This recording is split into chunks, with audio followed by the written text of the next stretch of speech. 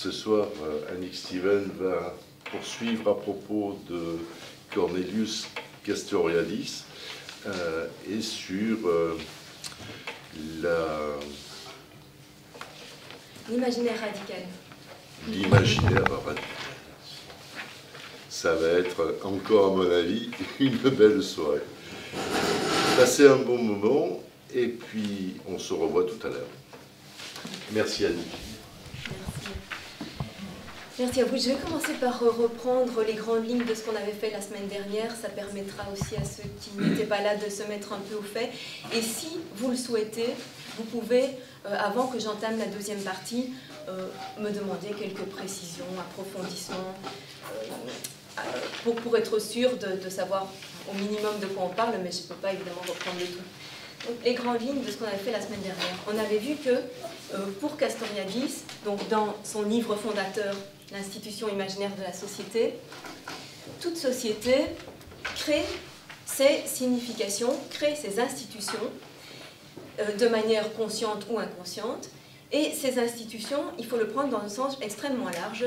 C'est aussi bien des constructions euh, de, tout ce qui va satisfaire les besoins des membres de cette société, que des représentations du monde et d'elle-même, donc représentations de euh, quelle, pertinence euh, ont les objets du monde pour elle, qu'est-ce qu'ils signifient pour elle, pour cette société, euh, comment est-ce qu'elle se situe, elle, par rapport au monde et par rapport aux autres sociétés, comment est-ce qu'elle s'identifie elle-même, comment ses membres s'identifient en tant qu'être humain, en tant que membre de cette société-là et pas d'une autre.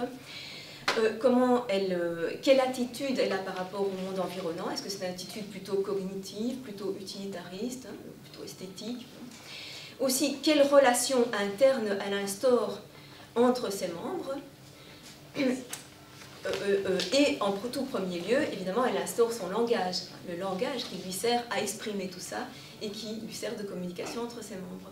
Donc tout ça, ce sont les institutions d'une société. et on avait vu que pour Castoriadis, sa thèse importante, c'était que ces institutions ne découlent pas tout simplement d'une nécessité, que ce soit une nécessité de type naturel, biologique, c'est-à-dire il y a des besoins à satisfaire, donc euh, nécessairement on va devoir utiliser les ressources disponibles, hein, on va devoir euh, développer en fonction des circonstances matérielles ce qu'on peut. Donc cette contrainte existe, bien entendu, mais elle n'est euh, qu'une des influences, elle n'est pas totalement déterminante sur le type d'institution qu'on pose. par ailleurs, on avait vu aussi que il s'ensuit une thèse sur euh, l'histoire elle-même. Toute société a une histoire parce que ses institutions changent. Et cette histoire ne peut pas être simplement un déroulement de faits dont euh, tout, serait déjà présent au départ, hein, qui n'aurait plus qu'à se développer à partir d'un point euh, initial qui comprendrait tout le reste comme un développement nécessaire. L'histoire n'est pas un développement nécessaire, c'est une création. Alors, bien entendu, toute société dépend aussi des étapes qui l'ont précédée, mais euh, de la même manière, ce n'est pas une dépendance absolue, c'est une dépendance qui laisse, qui laisse, des marges, des marges de création. Donc cette création, qui l'a fait? Donc la thèse de Castoriadis, c'est qu'il y a un imaginaire radical, radical au sens de qui est la racine de tout, et cet imaginaire, il est à la fois social et individuel.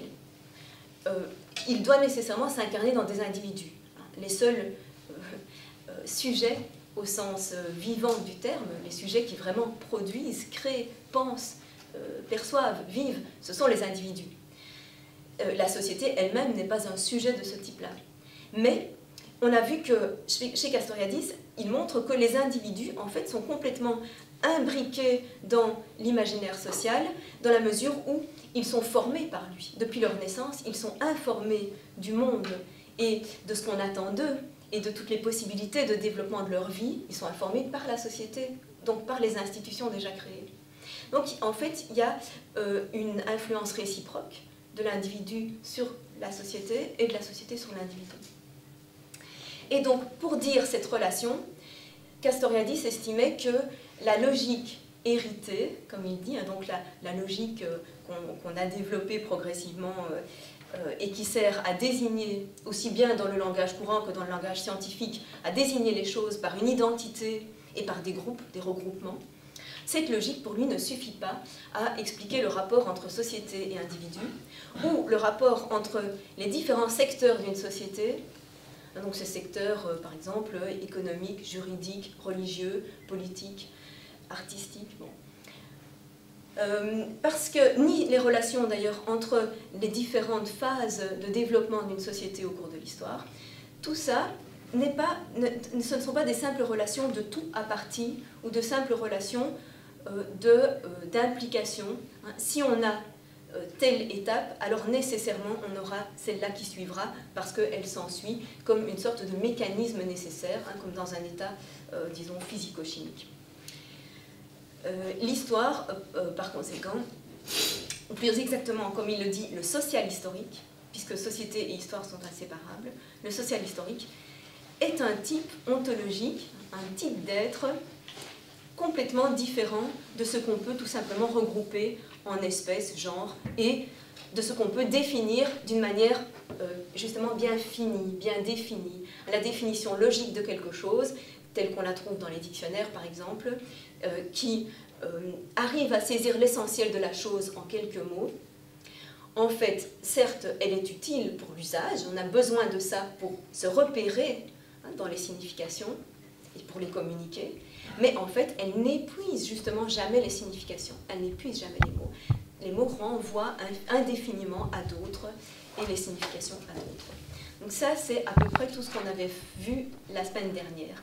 Est-ce que quelqu'un souhaite revenir éventuellement sur l'un de ces aspects, sachant qu'évidemment, on parlera toujours de la même chose, mais en approfondissant aujourd'hui justement le rôle de cet imaginaire et certaines significations, le rôle plus important de certaines significations, en particulier en tant qu'elles sont aliénantes. Voilà le programme d'aujourd'hui, mais si vous voulez d'abord revenir sur autre chose, on peut le faire. On pourra toujours le faire évidemment euh, après, après l'exposé. pourquoi en fait s'interroger à ce point sur euh, l'imaginaire radical, sur son fonctionnement et en particulier pourquoi essayer de mettre en évidence certaines significations qui sont euh, fondatrices par rapport aux autres, qui sont centrales, comme le dit Castoriadis. En fait, c'est parce que justement, son projet, comme je l'avais annoncé, est un projet de nous délivrer de l'aliénation. Or, l'aliénation, euh, ce n'est pas seulement, elle n'est pas seulement due à l'antagonisme au sein d'une société. C'est pas seulement l'aliénation des dominés par rapport aux dominants, par exemple. C'est pas seulement, même si c'est aussi ça, euh, l'aliénation des travailleurs par rapport à un sens de leur travail, une organisation de leur travail qui leur échappe complètement. Hein, ça, c'est une signification bien connue et tout à fait réelle de l'aliénation. Mais Castoriadis veut aller beaucoup plus loin. Il veut montrer qu'il y a une aliénation sociale telle que tous les membres de la société, quel que soit leur statut, en sont, euh, y sont soumis. Et, justement, ils sont soumis à des significations qui leur, dont ils ne sont pas conscients qu'elles ont été instaurées à un certain moment de l'histoire de leur société et qu'ils peuvent s'en débarrasser s'ils le souhaitent. Ce n'est plus conscient. C'est-à-dire, ça nous a échappé le fait qu'il y a quelque chose de fondateur qui commande tout le reste et auquel on ne remonte plus jamais on ne remonte plus jamais à se dire mais pourquoi on fait ça, c'est à cause de ça, pourquoi on fait ça, c'est à cause de ça, et jusqu'à la raison ultime, on n'y remonte plus. Et c'est ça qu'il essaye de mettre en évidence, parce que si on veut se délivrer, on doit remonter jusqu'au début. Quelles sont donc ces significations les plus importantes? Comment est-ce qu'on peut les retrouver? Donc revenons à une sorte de typologie des significations sociales. Le mot signification, qui revient tout le temps sous sa plume, il faut bien le comprendre comme euh, quel est le sens pour nous de certaines choses. Et la signification, euh, comme on l'a vu aussi déjà,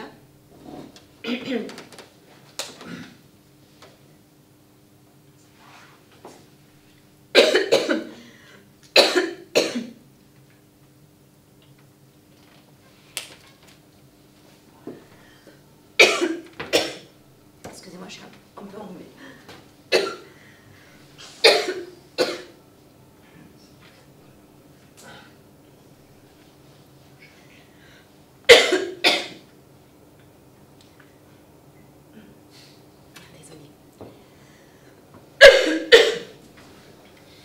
La, la, signification, donc, la signification est toujours quelque chose de symbolique. Symbolique, ça veut dire que on a un signe qui renvoie à quelque chose d'autre, qui renvoie à quelque chose qui n'est pas lui, mais qui l'évoque, qui le désigne. Et une partie donc des, institutions sociales relève de ce que Castoriadis appelle le Teuchen. Euh, c'est le verbe qui correspond au mot techne, qu'on connaît mieux. C'est-à-dire, c'est tout l'aspect euh, constructif matériel, matériel de la, euh, de la construction sociale.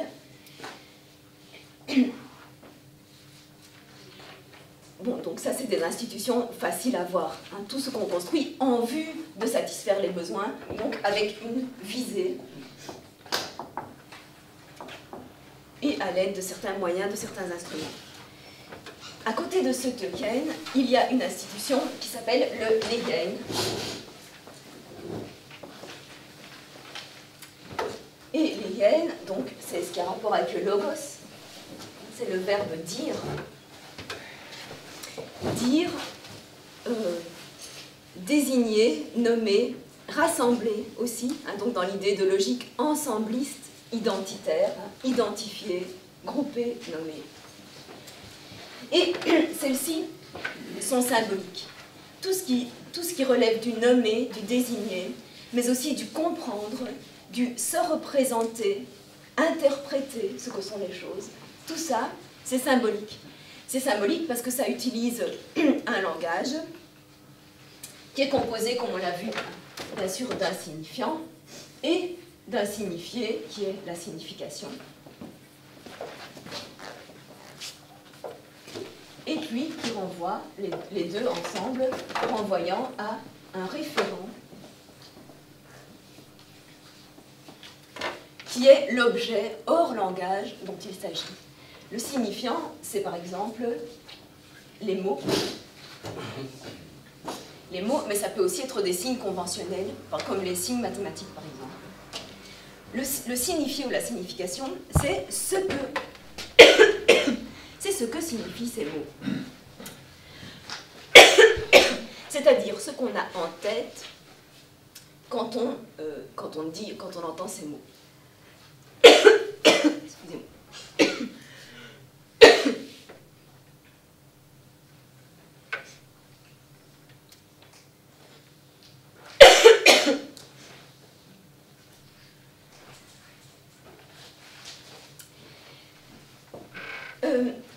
Ensemble peut euh, se référer à trois types de choses.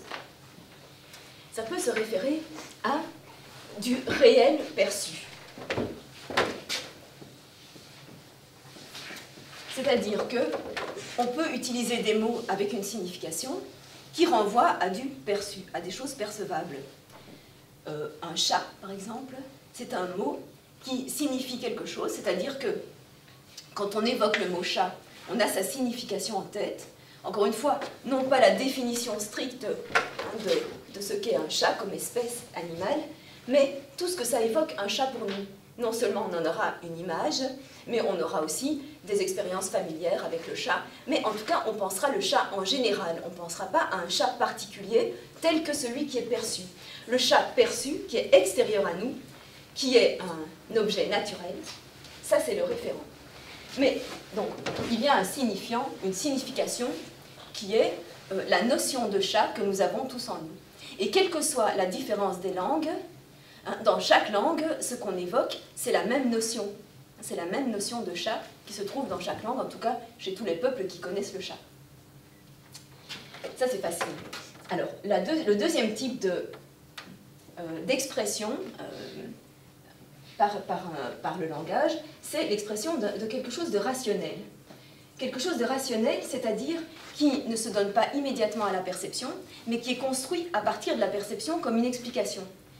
Donc par exemple, euh, si la science crée des concepts du type du concept de causalité, par exemple, la causalité, elle n'est pas perçue, mais elle se construit rationnellement ou logiquement à partir de ce qui est perçu. Donc la notion de cause, par exemple, elle relève du rationnel. Et elle a un signifiant, le mot qu'il a dit, et elle a une signification, parce que quand on pense cause, on donne toute une signification à ce mot. On comprend ce que ça veut dire. Hein. on comprend ce que ça veut dire cause. Et en même temps, elle a un référent qui est euh, la cause à l'œuvre dans toutes sortes de phénomènes. Hein. la cause, chaque fois, individuellement, à l'œuvre dans toutes sortes de phénomènes. Et alors, le troisième type de, euh, signification, c'est des significations de, de imaginaire dans un sens courant du terme. Dans le sens courant du terme, c'est-à-dire le, fictif. Qui évidemment n'est pas la même chose que l'imaginaire radical qui lui crée le tout. L'imaginaire radical crée toutes ces significations-là. L'imaginaire radical, bien sûr, ne crée pas les objets de la nature, mais il crée la manière dont nous les disons et dont nous les représentons. C'est l'imaginaire radical qui crée la notion de chat. Non pas les chats vivants eux-mêmes, mais la notion de chat, c'est l'imaginaire radical qui l'a créé.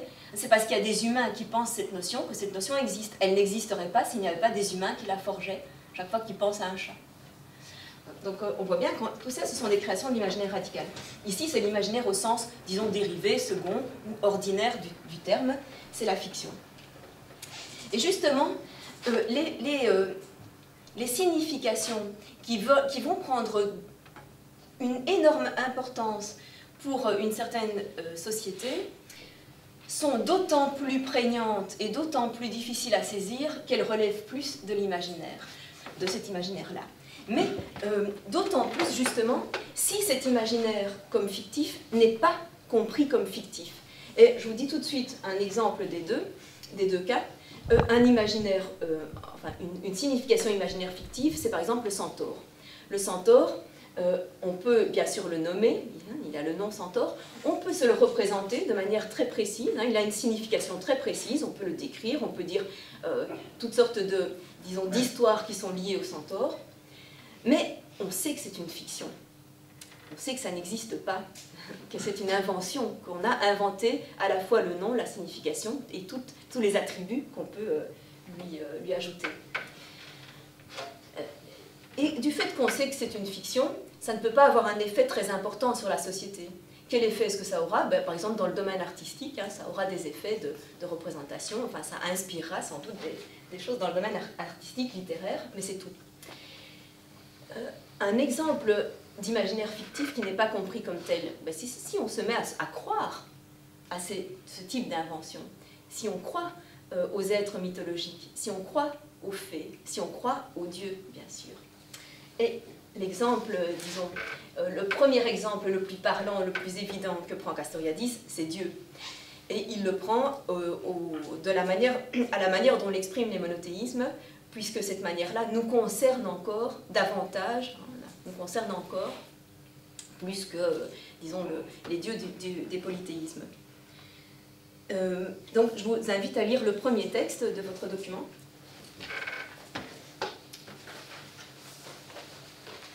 qui explique pourquoi euh, certaines significations peuvent, comme il dit parfois, s'autonomiser, c'est-à-dire euh, en fait, se rendre indépendante, hein, c'est autonomiser au sens courant du terme, se rendre indépendante de ceux qui les ont créés, et en quelque sorte leur échapper.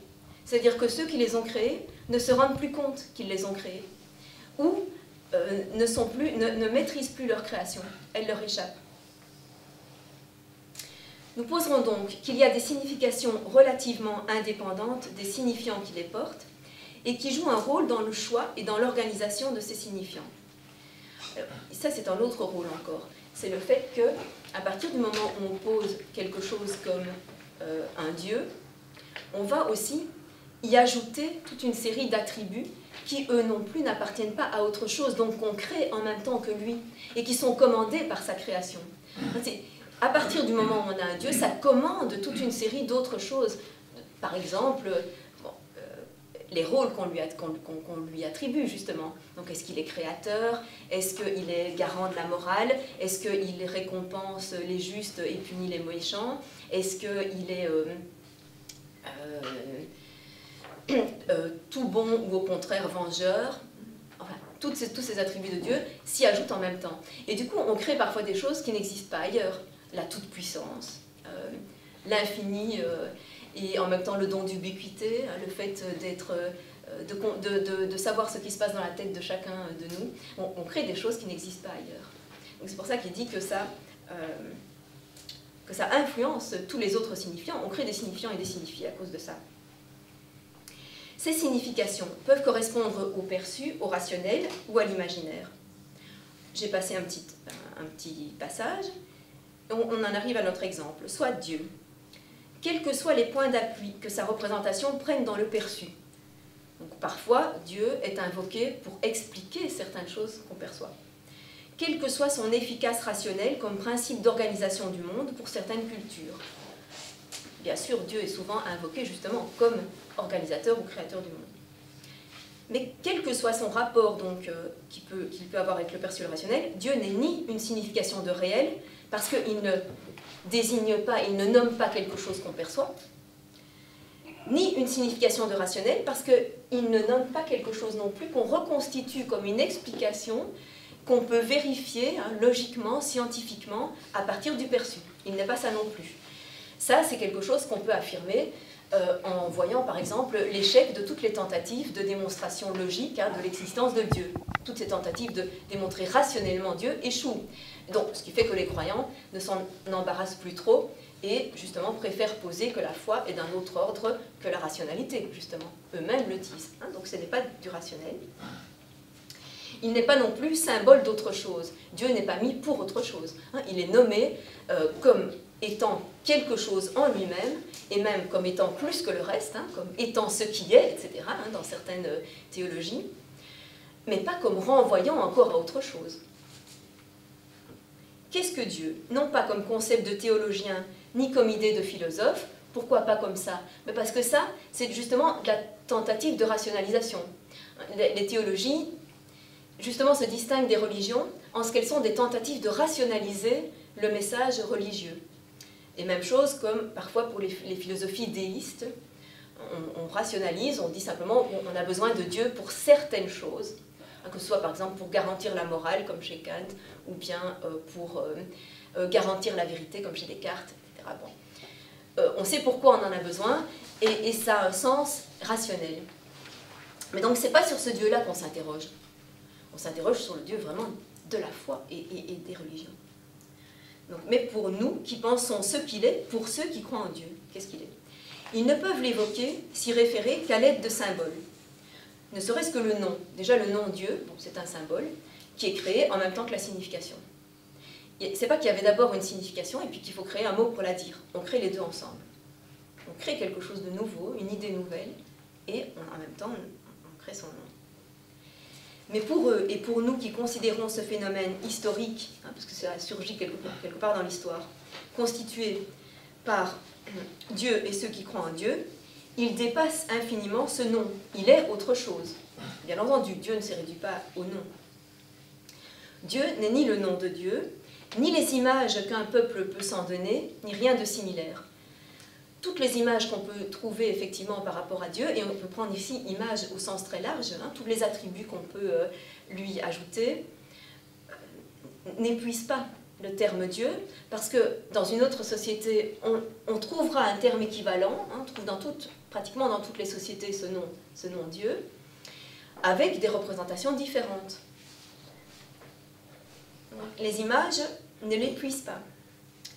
Porté, indiqué par tous ces symboles, il est dans chaque religion ce qui fait de ces symboles des symboles religieux. En effet, euh, si vous prenez toute une série d'objets qui sont liés au culte ou liés aux attributs divins. Prenons par exemple la croix. La croix, elle existait bien avant la religion chrétienne, mais elle n'est devenue un symbole chrétien qu'à partir du moment où le, Christ a été crucifié. Avant ça, la croix, euh, elle, était déjà un instrument de supplice chez les Romains. Mais elle n'avait pas du tout un sens religieux. Donc elle devient un symbole religieux à partir du moment où Dieu est érigé hein, d'une certaine façon, à partir du moment où sa signification se met à impliquer la crucifixion du Christ. Même chose, vous prenez n'importe quoi des attributs, le fait de, boire du vin dans un calice, c'est tout à fait anodin, mais à partir du moment où ça devient une partie du rituel, ça prend un, un sens religieux, ça devient le symbole d'autre chose, ça devient le symbole du sang du Christ, etc. Donc on voit bien en quoi le symbole euh, est inventé en référence parce qu'il existe Dieu. Si on n'avait pas inventé Dieu, on n'aurait pas inventé... Euh, le vin. si, justement, le vin, mais pas sa symbolique. mais pas sa symbolique comme sang du Christ.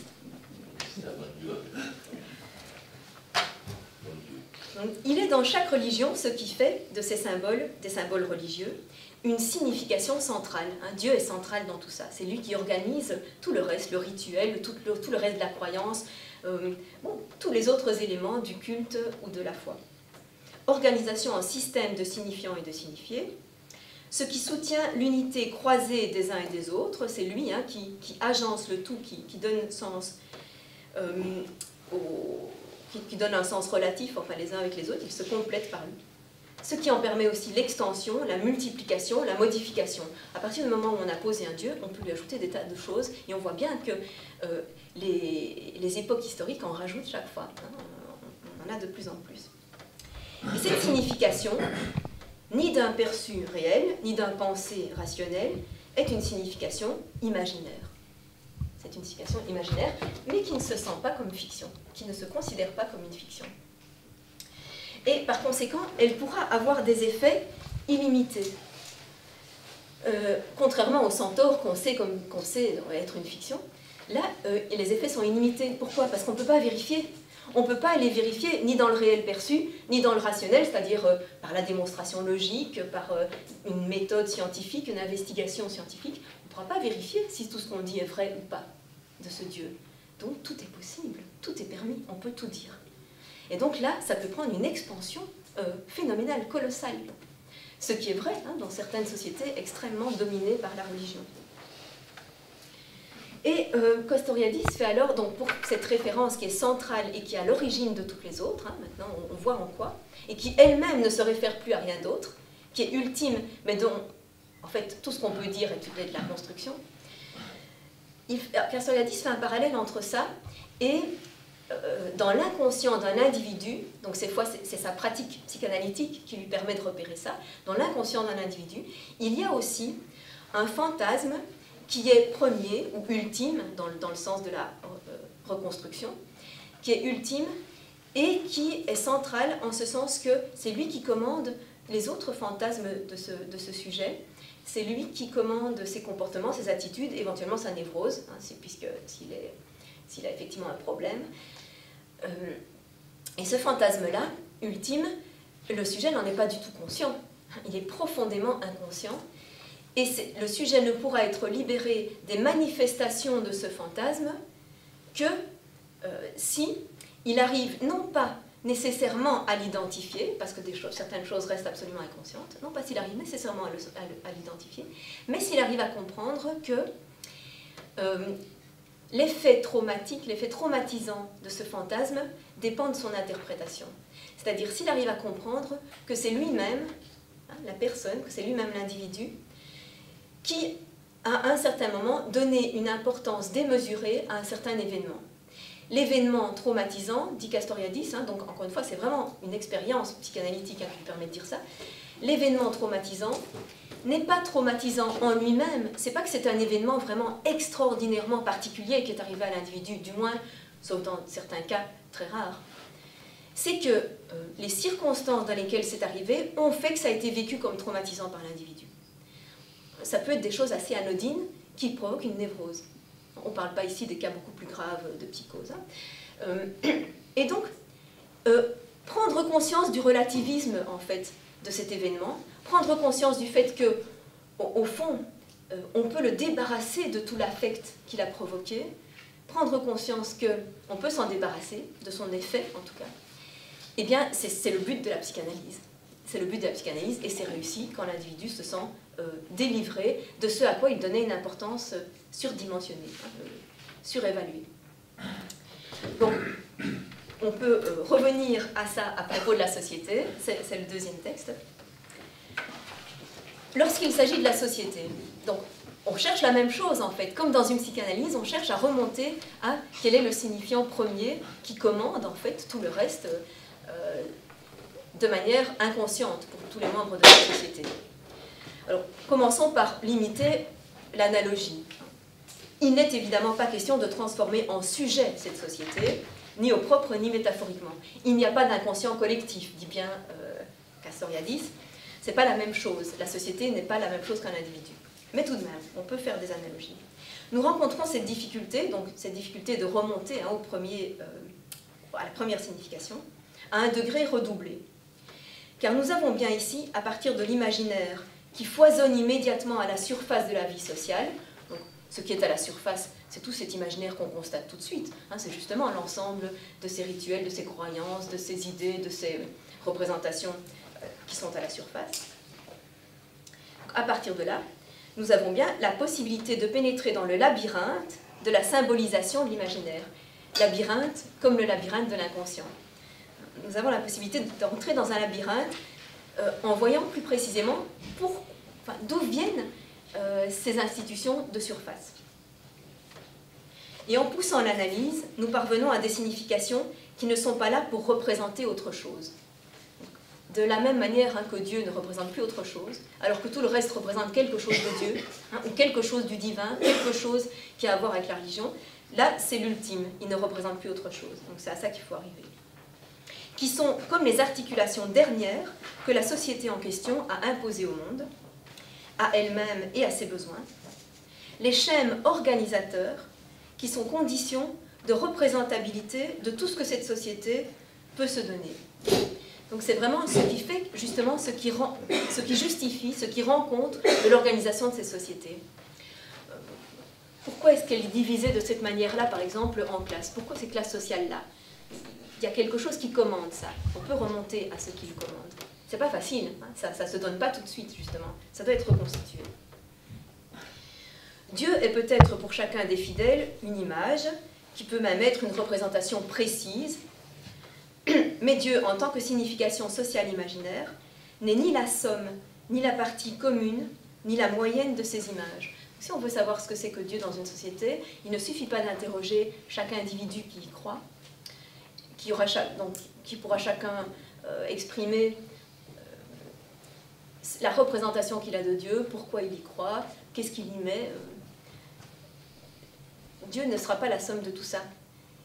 Dieu, c'est plutôt ce qui permet à chaque individu de croire en quelque chose, ce qui permet à chaque individu de s'imaginer du coup son Dieu d'une certaine façon. La relation que chacun a avec Dieu dépend de l'institution de Dieu. Si euh, un individu n'était pas né dans une société où Dieu était une signification sociale qu'on lui transmet tout de suite dès le berceau, euh, il, ne se il ne se construirait pas de la même façon cet individu. S'il se construit d'une certaine façon, c'est parce qu'on lui dit il y a un Dieu qui a tel et tel pouvoir, telle ou telle fonction par rapport à nous. Donc l'individu se construit par rapport à lui.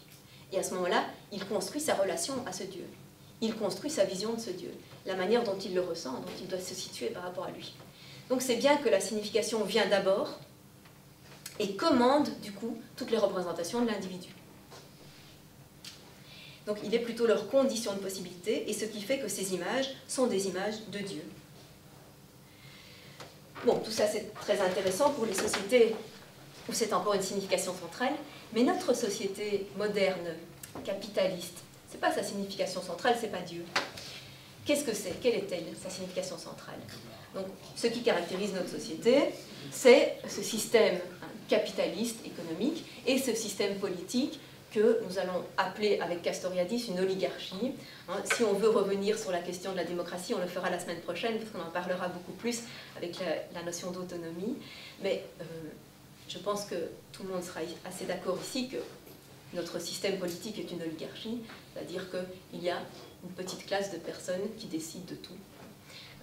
Euh, et et qui, bien entendu, l'ensemble des décisions politiques ne sont pas prises par l'ensemble de la société. Donc cet imaginaire capitaliste, quelle est sa signification première? Eh bien, en fait, ce que Castoriadis pose, c'est que euh, c'est l'économie, non pas n'importe quelle économie, mais cette économie précisément euh, basée entièrement sur le profit, la marchandise, l'accumulation euh, effrénée hein, et illimitée de, marchandises, d'argent, de capital, et une croissance indéfinie elle aussi, puisqu'elle est indispensable pour cette accumulation. Donc en fait, ce sont toutes ces significations-là du capitalisme qui sont considérées, qui ont été mises au centre de la société et qui sont euh, organisatrices de tout le reste. Si vous réfléchissez en effet sur les décisions politiques, d'où viennent-elles? Toutes les décisions politiques sont commandées par l'économie. Et par cette économie-là, toutes, elles sont toutes ramenées à ça. Vous pouvez écouter n'importe quelle justification. Pourquoi est-ce qu'on l'a fait? C'est toujours pour relancer l'économie, ou pour euh, économiser de l'argent. C'est toujours pour ça. Euh, quant à cette économie elle-même, euh, c'est une économie que Castoriadis estime être totalement irrationnelle. C'est-à-dire que dans une société qui se prétend être parmi les plus rationnelles de toutes, donc qui se permet de dire bon beaucoup de sociétés sont irrationnelles parce qu'elles sont fondées sur des, euh, fictions justement euh, mythologiques, religieuses. En fait, la note est strictement rationnelle et scientifique. Mais en réalité, économie, si cette économie se dit rationnelle, c'est parce qu'elle est rationnelle dans ses moyens. C'est-à-dire que, euh, effectivement, euh, étant donné ses fins d'accumulation, de croissance, de profit, elle met effectivement en œuvre des moyens qui sont en principe ceux qui vont lui permettre d'être le plus efficace, hein, euh, de, donner le plus efficacement ses fins. Mais sur ses fins elle-même, elle ne réfléchit jamais, cette économie. Elle ne se demande jamais pourquoi toute la vie humaine devrait être dirigée par cette valeur unique qui est la valeur de l'accumulation de richesses. Euh, jamais cette fin n'est interrogée. Et donc en fait, tout le reste en devient irrationnel dans la mesure où cette fin est d'une certaine manière absurde. C'est une fin absurde. Qu'est-ce que c'est ça pour une vision anthropologique hein? Quelle vision de l'être humain que, euh, ayant un seul but dans la vie, accumuler? Donc en fait, euh, mais, cette signification donc, qui est placée au centre, euh, elle n'est pas consciente ou elle l'est à peine. Pourquoi? Parce qu'elle est dissimulée sous une prétention de naturalité. C'est-à-dire on fait comme si la seule économie possible était celle-là. alors qu'en fait, tout au début, disons, en tout cas ce qui correspond à l'étymologie du mot économie, hein, donc tout au début des réflexions, des premières réflexions sur l'économie, euh, du moins chez les Grecs, hein, ceux dont on a euh, suffisamment, disons, d'écrits pour pouvoir savoir euh, ce qu'ils en pensaient. économie, c'était oikos et nomos. Oikos, c'est le domaine qui permet la subsistance, le domaine familial hein, qui permet la subsistance. Nomos, l'administration, la gestion de ce domaine. L'économie, c'est la gestion de son domaine en fonction, en, vue de la subsistance. Ça, c'est quelque chose de tout, dont la fin est à la fois très modeste, très précise, et correspondant tout à fait aux moyens qu'on va développer, et correspondant aussi à un aspect minime de la vie humaine. Euh, l'économie est considérée comme seulement le tout premier stade de la vie, une vie strictement animale, c'est juste ce qui va nous permettre d'entretenir euh, notre vie biologique. Un point, c'est tout. L'important est ailleurs. L'important n'est pas du tout dans l'économique. L'important, c'est dans ce qu'on va réaliser de grand, d'héroïque. Hein. Euh, bon, même si c'est parfois au sens guerrier hein, du terme héroïque, je ne dis pas que c'est nécessairement mieux, hein, mais en tout cas c'est ailleurs l'important, ou euh, ce qu'on va réaliser d'artistique, d'intellectuel, euh, ce qu'on va réaliser de politique.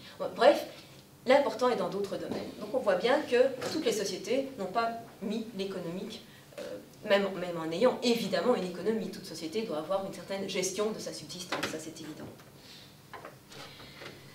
Euh, et donc je disais, c'est inconscient dans notre société, ou plus ou moins inconscient, parce qu'on entretient l'idée que seule cette économie-là existe.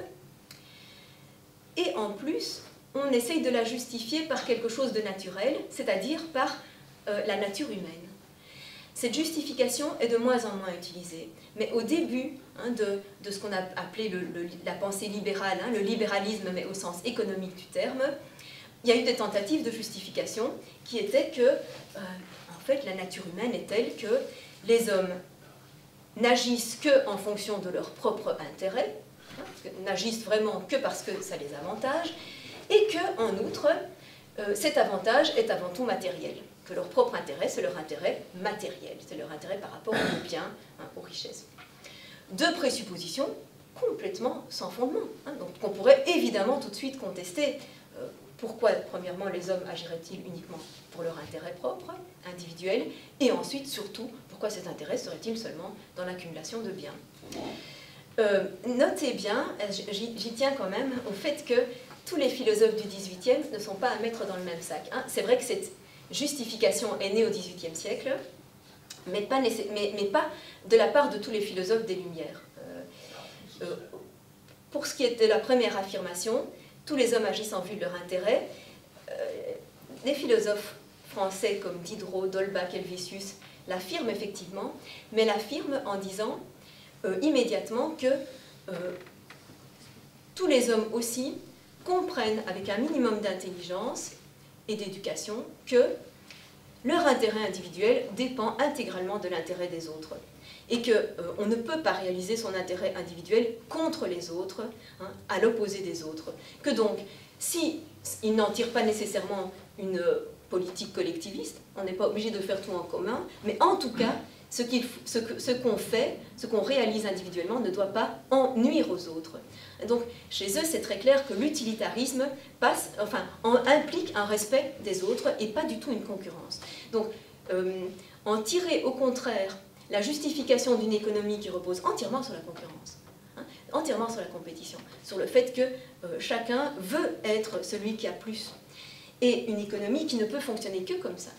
L'économie capitaliste ne peut, fonctionner que comme ça, puisque euh, forcément, s'il n'y a pas accumulation de capital, euh, le profit baisse et il s'ensuit récession, etc. Bon, j'entre pas dans les détails économiques, mais enfin, bon, on, connaît plus ou moins ça.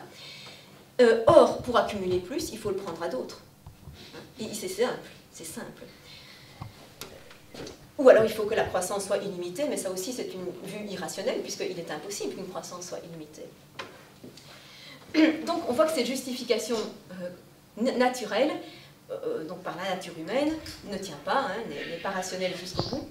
Et c'est pourquoi on entend, beaucoup moins, euh, je pense, dans les discours justificateurs actuels de ce système, on entend beaucoup plus l'idée qu'aucun autre système ne peut fonctionner. Bon, alors on va lire le, troisième texte qui exprime cette centralité de l'économie. De même, par exemple, l'économie et l'économique sont des significations imaginaires sociales centrales. Imaginaire, hein, donc on a créé, on a créé quelque chose qui n'est ni du perçu, bien sûr, parce que cette économie-là, hein, on ne l'a pas trouvée dans le monde, ni du rationnel, parce qu'il est faux de dire que rationnellement, c'est l'économie la meilleure. En fait, elle est fondée sur de l'irrationnel total. Je rappelle, je, je rajoute que, euh, au fond, si on voulait pousser jusqu'au bout euh, un tenant de cette économie sur ses motivations, il serait obligé finalement de reconnaître qu'il obéit à un désir insatiable, à son propre désir insatiable d'accumuler toujours plus. Alors, il est vrai que ce désir insatiable est relayé par tout le reste de l'institution sociale. C'est justement ce que Castoriadis essaye de montrer. C'est pour ça qu'elle est centrale, cette signification. C'est que si vous êtes euh, tout à fait en adéquation avec cette signification-là, si vous êtes le meilleur dans cette économie-là, tout le reste des gratifications sociales vous, vous accompagnera aussi, puisqu'elles sont organisées autour de ça. Donc reconnaissance des autres, impression de puissance, pouvoir acheter des tas de choses qui vous valorisent, etc. Donc tout le reste des valeurs dépendent aussi de ça. Bon, dans une certaine mesure. Heureusement, ce n'est pas encore total. Euh, il y a bien sûr des gens qui résistent à ce type de valeurs. Mais donc tout ça pour dire, on n'est pas dans du rationnel. On n'est pas dans du rationnel, on est bien dans l'imaginaire, c'est-à-dire qu'on a créé de toutes pièces ces valeurs-là comme valeur ultime, comme valeur euh, prépondérante. ces significations imaginaires sociales centrales qui ne se réfèrent pas à quelque chose, mais à partir desquelles sont socialement représentées, réfléchies, agies, faites une foule de choses comme économiques. À partir de là, tout devient économique. Comme je l'ai dit, toute décision, etc., devient économique, tout but, toute motivation. la vie des individus se met à être qu'est-ce que je vais faire pour gagner ma vie hein, Quelle est la question qu'on se pose malheureusement quand on est jeune C'est qu'est-ce que je vais faire pour gagner ma vie? Et on est obligé. Je veux dire, c'est là qu'il y a cette contrainte sur l'individu. C'est là que l'individu est effectivement aliéné c'est qu'il est obligé, il doit être adéquat à sa société s'il veut survivre dans cette société. Donc il doit au minimum être adéquat. Après, il y a une marge. Toute la question est la marge. Cela va de pair avec, et est impossible sans, des transformations des activités et des valeurs de la société considérée, comme aussi des transformations effectives des individus et des objets sociaux, sans qu'il puisse être ici jamais question d'une priorité logique ou réelle d'un de ces aspects sur les autres. Tous ces aspects vont ensemble. Les individus sont construits comme des individus économiques, capitalistes. On leur donne des rôles, des fonctions possibles auxquelles ils doivent s'identifier. Il faut qu'ils choisissent une carrière qui corresponde à ce, à ce type d'institution, même s'il y a un certain choix. Les objets sociaux, c'est pareil, hein, ils sont commandés par cette économie. Donc tout ça est intrinsèquement lié. Donc on ne voit pas trop comment en sortir. Hein, c'est un peu ça, c'est ça la difficulté. Tout est organisé à partir de ce point central, et comment en sortir? L'institution de la signification économique comme centrale par le capitalisme s'opère dans l'implicite, n'est visée comme telle par personne. Ça, c'est très important. Il n'y a pas à un certain moment quelqu'un qui a dit Je veux construire ce système, hein, et je vais tout mettre en œuvre pour le construire. Ça, n'est pas apparu comme ça. C'est apparu progressivement. Et on ne sait pas, rien, ne, peut être dit euh, avoir été premier chronologiquement, c'est-à-dire est-ce que c'est d'abord les valeurs, est-ce que c'est d'abord certains moyens, par exemple les moyens techniques, est-ce que c'est euh, certaines relations sociales, des relations déjà de hiérarchie, de domination ou d'utilisation des hommes les uns par les autres, tout ça est nécessaire ensemble.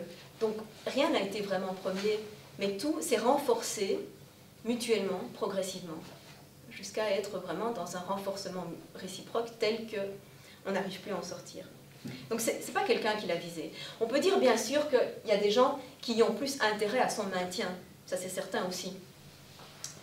Et que donc ces gens-là euh, seront plus oppresseurs et plus aliénants que les autres.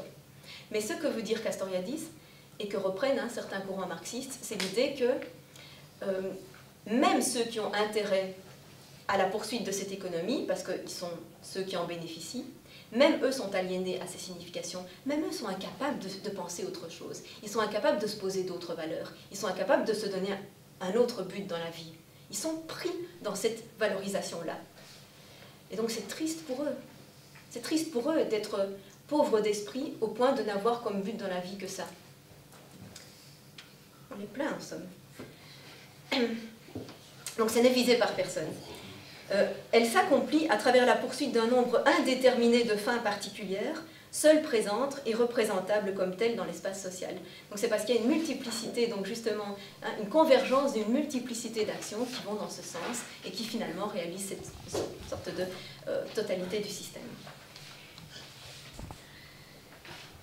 Euh, par conséquent, on, doit se poser la question, quelle est la responsabilité de l'individu quand ce système est définitivement installé, enfin définitivement est installé, et, euh, et comment l'individu peut éventuellement euh, le déconstruire, enfin le refuser, euh, le transformer, le remplacer par autre chose, puisque en gros, en, gros, j'allais dire, c'est un peu notre but à tous. Je ne sais pas dans quelle mesure c'est notre but à tous, mais ce qui est certain, c'est que c'est celui de Castoriadis.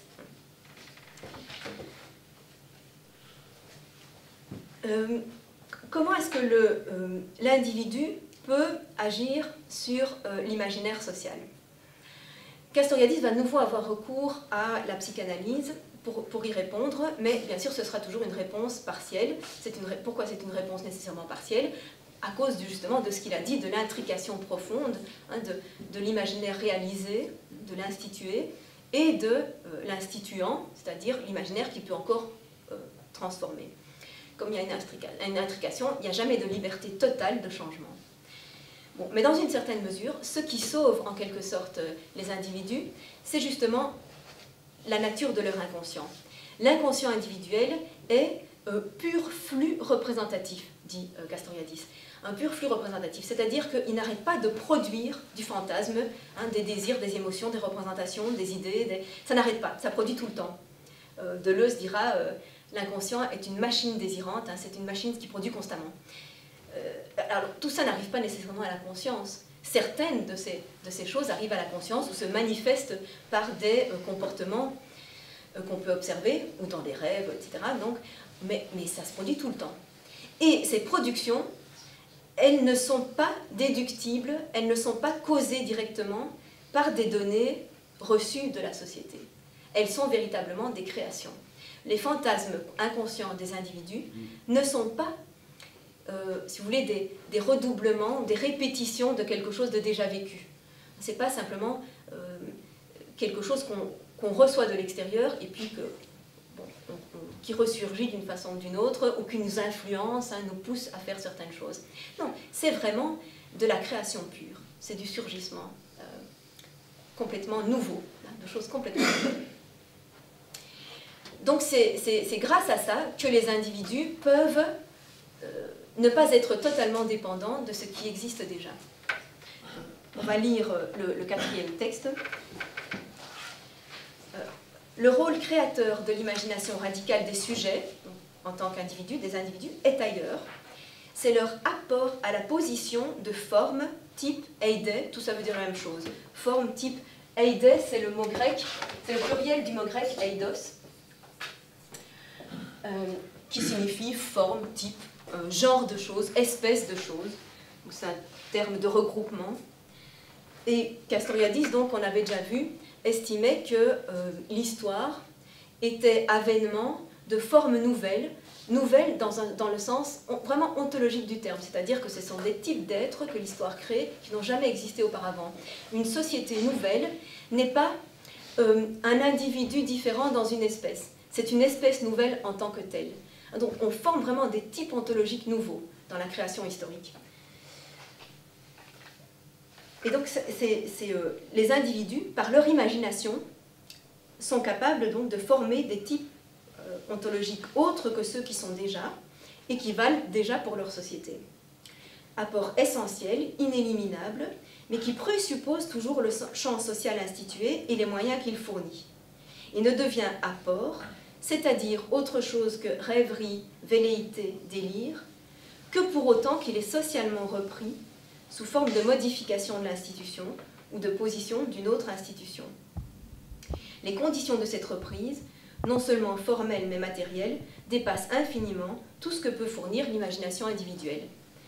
On peut prendre un exemple pour illustrer ceci. Euh, donc cette euh, double condition d'une part que l'individu est capable de créer du nouveau, et qu'en même temps ce nouveau n'aura d'influence sociale que si il apparaît dans un champ qui lui est favorable, dans un champ qui est d'une certaine manière en attente de ça, qui est disposé à recevoir cette proposition-là.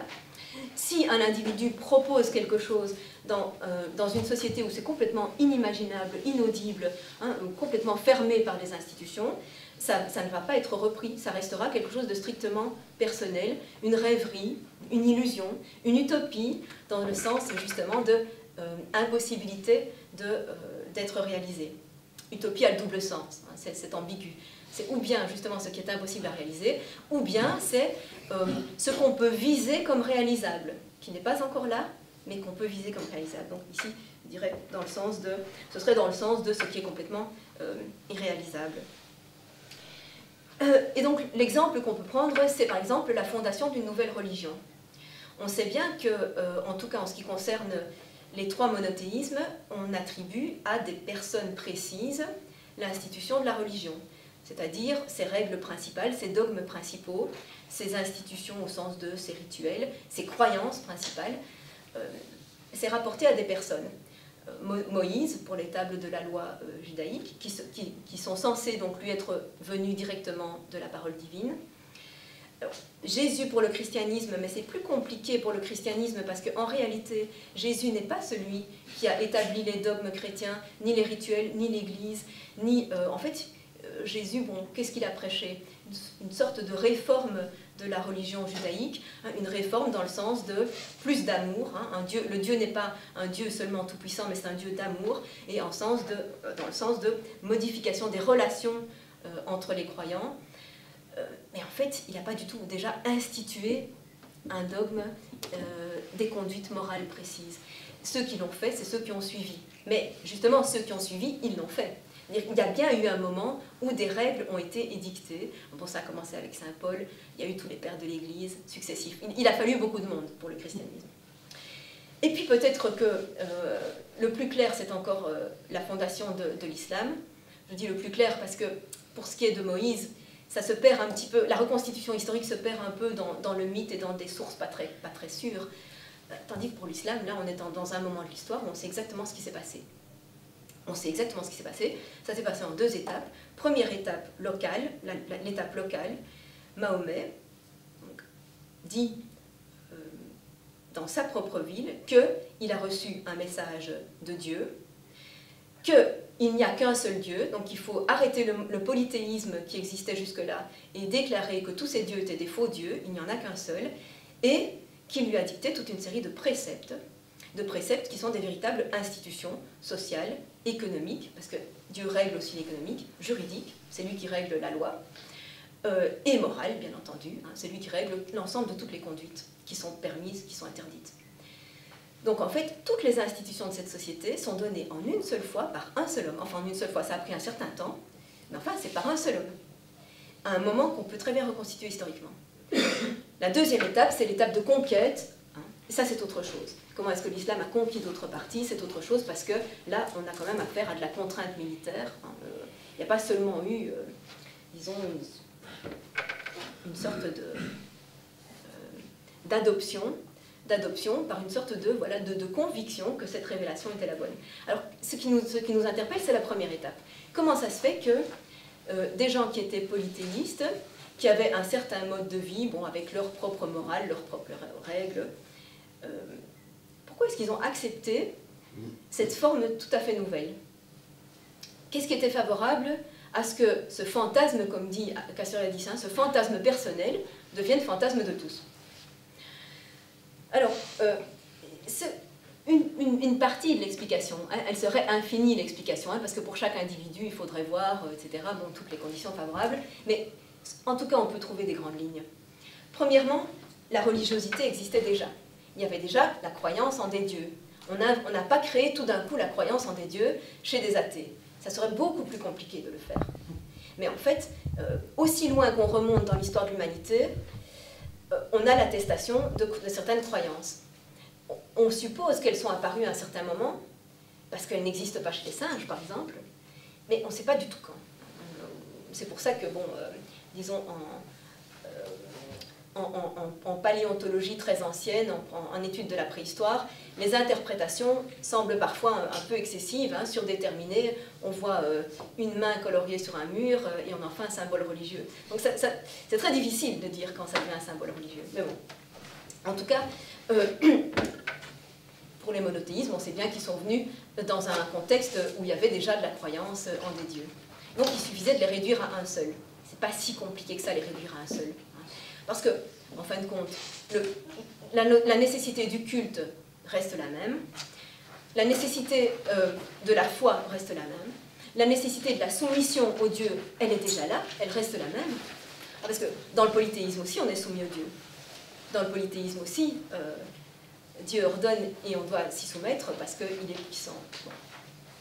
Tout, ça, tout ça existait déjà. Euh, peut-être bien qu'il y avait une certaine attente de réforme parce que certaines choses ne fonctionnaient plus bien et qu'on s'est dit, après tout, peut-être que ça résoudra des problèmes. Donc on, peut multiplier comme ça l'enquête sur des circonstances favorables qui fait que ça n'a pas été si difficile que ça d'instaurer quelque chose de nouveau. Et donc, évidemment, pour la question qui nous occupe, comment est-ce qu'on peut euh, utiliser en quelque sorte ce modèle par rapport à notre signification centrale dans notre société?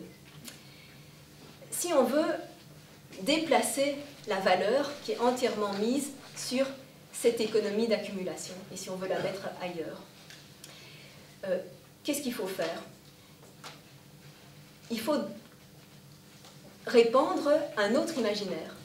Il faut répandre un autre imaginaire, mais qui en même temps soit suffisamment ancré dans les désirs réels des gens, les désirs déjà présents, dans les analyses ou les connaissances aussi déjà présentes, déjà disponibles dans notre société, et donc s'appuyer sur ce qui existe déjà pour imaginer ce qui pourrait être. On, a besoin d'imaginer quelque chose qui n'est pas encore, une, société telle qu'elle n'a pas encore existé, telle que nous pensons qu'elle est meilleure que celles qui ont existé. Donc c'est de la pure imagination, hein, de quelque chose de potentiel, de virtuel encore. Mais pour convaincre qu'elle est possible à partir de maintenant, il faut partir de choses présentes, d'attentes réelles, de besoins réels, euh, d'aspirations et de, et de choses matérielles aussi, qui rendent cette chose réalisable. Donc c'est absolument indispensable de fonder le projet dans du réel. C'est ça en fait le champ du social hein, qui peut être favorable à, ce projet. Et il faut aussi faire la même chose qu'en psychanalyse, c'est-à-dire arriver à montrer que ce fantasme euh, prioritaire, central, n'a pas l'importance qu'on lui donne. Hein, que en fait, euh, il peut parfaitement être interprété autrement que comme ça qu'on a euh, l'habitude, on est conditionné à l'interpréter de cette manière prépondérante, mais on peut parfaitement le déplacer et se rendre compte qu'il est au fond insignifiant. Donc, par opposition à cette signification qui est centrale, on dira c'est de l'insignifiant.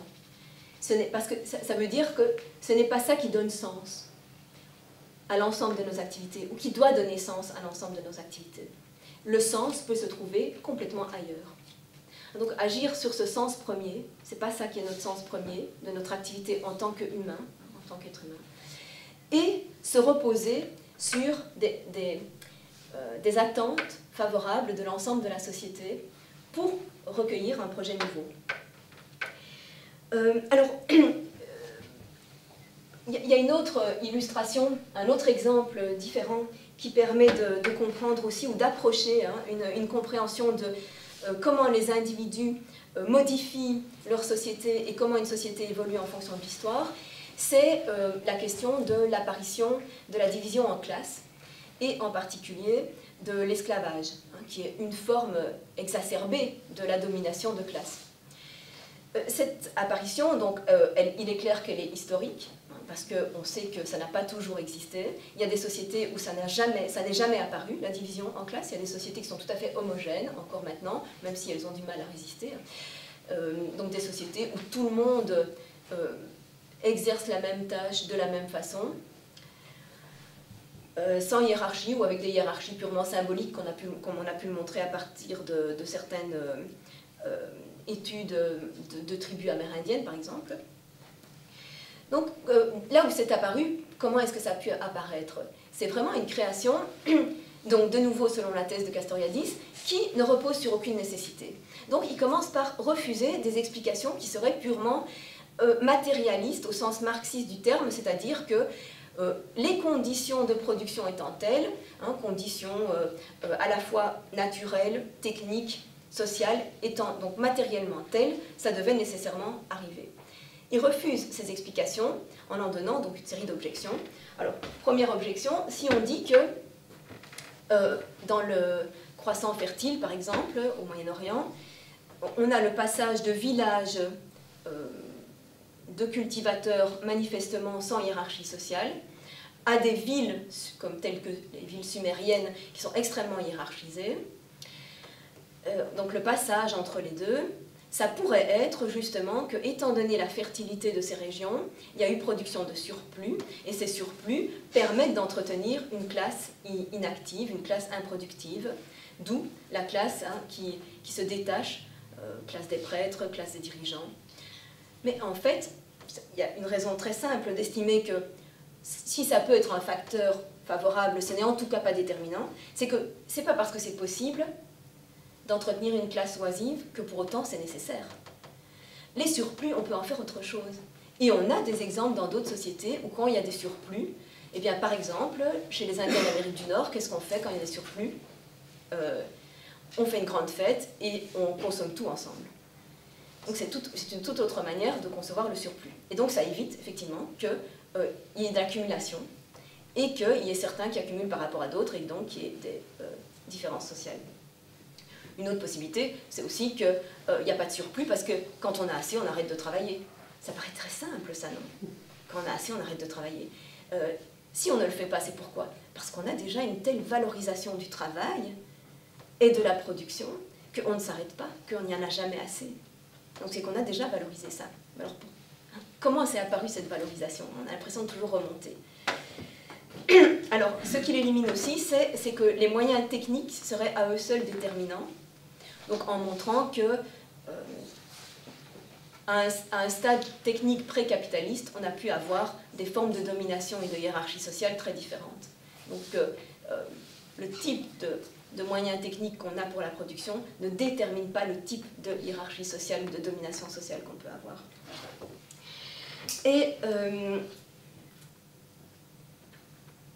donc c'est interrogeant alors plus particulièrement sur l'apparition de l'esclavage ou du servage, hein, ou de, vraiment d'une forme extrêmement contrainte de travail. Euh, il estime que c'est vraiment une création de quelque chose de neuf parce qu'il fallait considérer des êtres humains comme euh, autre chose que ce qu'ils sont. C'est-à-dire il faut pour les obliger à travailler sous, une telle contrainte, pour les priver de leur liberté, il faut euh, ne plus les considérer comme, véritablement comme des humains. Il faut les considérer ou bien comme des instruments, hein, donc comme, comme des machines, ou bien comme des animaux, euh, au sens des animaux dont on se sert, des animaux, des bêtes de somme, hein, dont on se sert pour porter des charges, pour labourer, pour donc les animaux qu'on utilise, qu'on estime pouvoir utiliser parce que ce sont justement pas des humains. Donc il a fallu que, d'une certaine manière, on assimile des humains à des animaux ou à des machines, et ça c'est surtout, alors ça c'est surtout à partir de la, révolution industrielle que on a considéré les humains au même titre que euh, des rouages d'une machine. Les humains sont des rouages de la machine de la même manière que n'importe quelle pièce mécanique de la machine. Euh, l'expression horrible ressources humaines dit bien ça. À côté des ressources matérielles, on a les ressources humaines, c'est la même chose, ça fait partie de la machine. Donc, mais ça, c'est plutôt vraiment industriel. Mais comment est-ce qu'on a pu, demande Castoriadis, comment est-ce qu'on a pu à un certain moment considérer les humains comme n'étant pas des humains euh, Lui ne voit pas, en fait. Hein. dans, ce livre-ci, en tout cas dans, cet ouvrage-là, il, est euh, perplexe par rapport à ça, et c'est simplement pour lui un indice que sa théorie est la bonne, c'est-à-dire qu'il y a vraiment création à partir de rien. Il y a vraiment création de quelque chose de nouveau qui n'existait pas avant. On ne pouvait pas faire cette assimilation avant.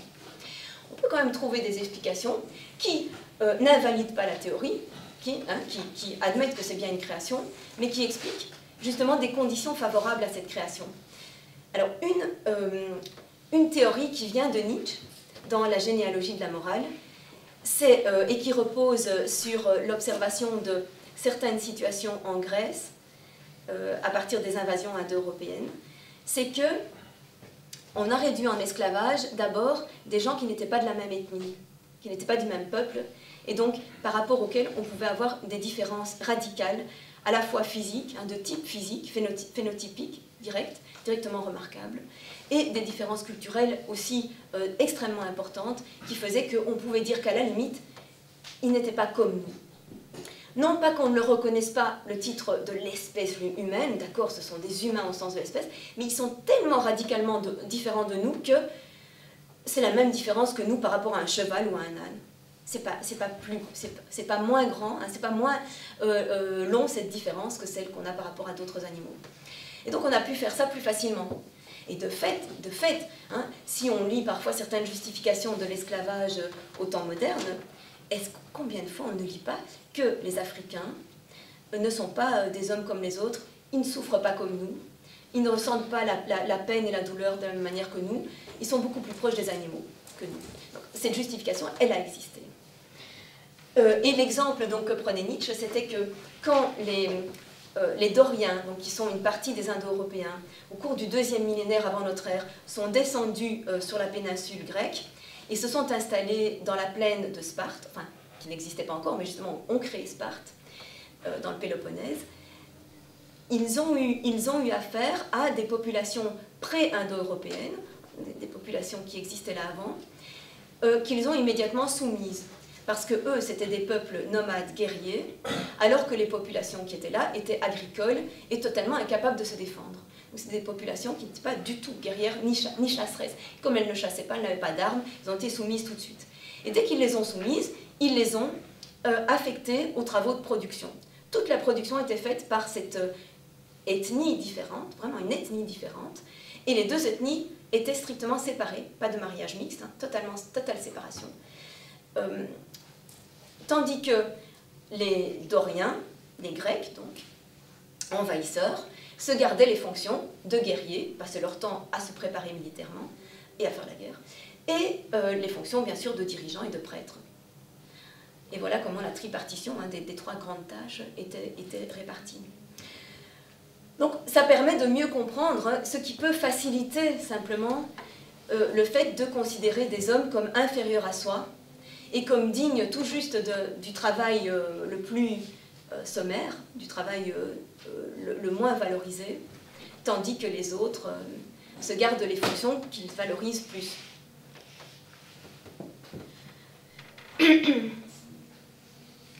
Dans tous les cas, en tout cas, pour, que, cette création soit possible, hein, on en est rendu à, comme je, vous le disais, une création euh, par une imagination qui ne se trouve que dans les individus. Et ça, ça va nous permettre d'arriver au, cinquième et dernier texte pour aujourd'hui.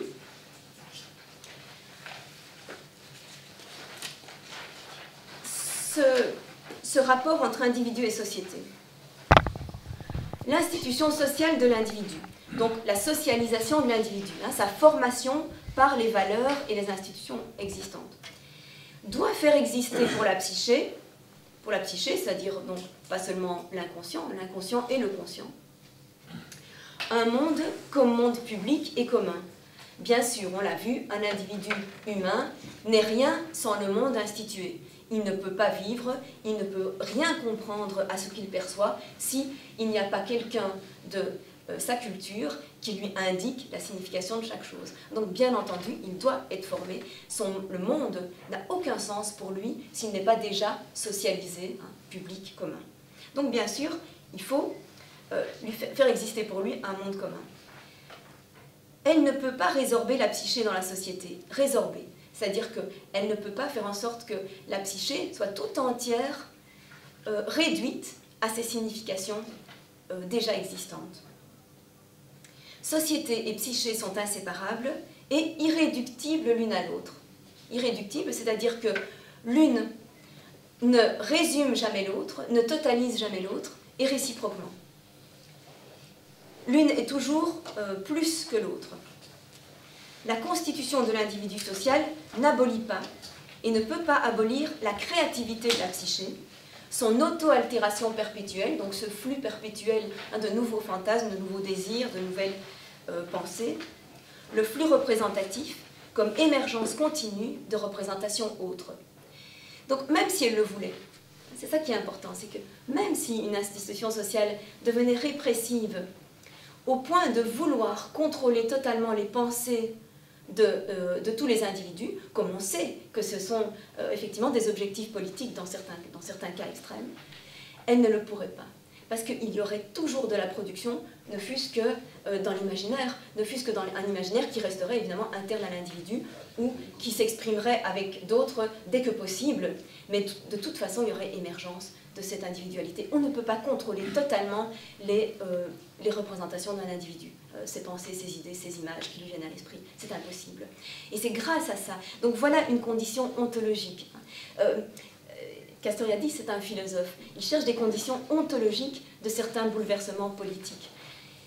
il veut savoir comment, dans l'être même des choses, on peut s'appuyer sur quoi est-ce qu'on peut s'appuyer pour dire un changement politique est possible, un changement social est possible? Et voilà une de ces conditions ontologiques. C'est que euh, l'imagination de l'individu ne peut pas être totalement contrôlée par la société, par aucun existant.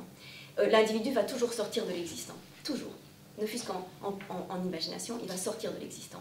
Et dès qu'il aura la possibilité de le faire, dès qu'il ne sera pas extrêmement contraint, dès qu'il aura une toute petite marge d'expression, il va l'exprimer à d'autres et il va chercher à le réaliser c'est sa nature.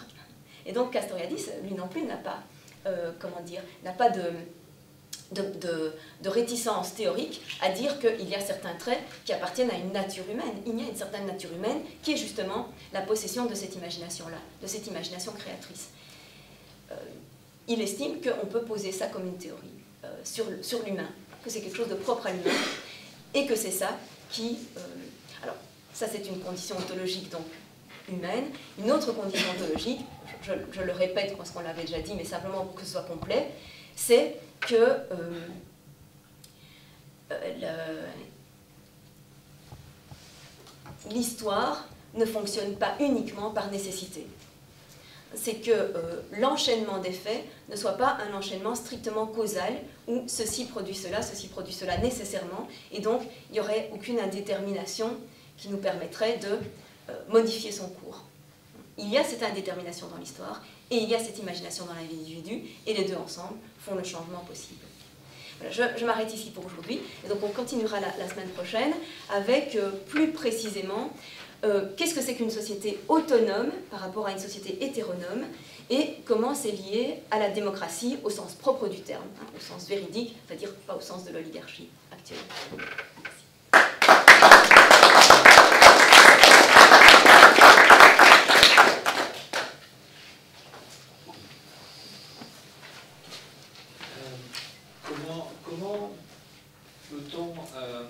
analyser ce, mouvement qui devient un peu de plus en plus populaire, euh, qui consiste à,